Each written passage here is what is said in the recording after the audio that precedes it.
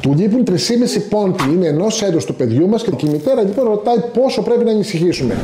Πηγαίνοντας λοιπόν στο ιστορικό, βλέπουμε ότι αυτό το μωρό δεν γεννήθηκε όσο θα θέλαμε ακριβώς τη γέννησή του, δηλαδή 50 εκατοστά, αλλά γεννήθηκε 3,5 πόντους λιγότερους. Αυτούς λοιπόν τους 3,5 πόντους, μάλλον τους βρίσκουμε και στο χρόνο.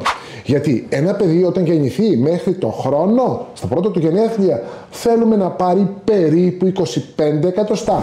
Και όντως αυτούς τους πόντους τους πήρε, αλλά δεν πήρε αυτούς τους πόντους που είχε χάσει ενδομήτρια.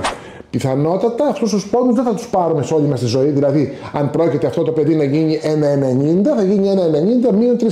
Το δεύτερο χρόνο ζωής θα πάρει περίπου 12 πόντους, τον τρίτο 7. Σας είπα τα τρία πρώτα χρόνια.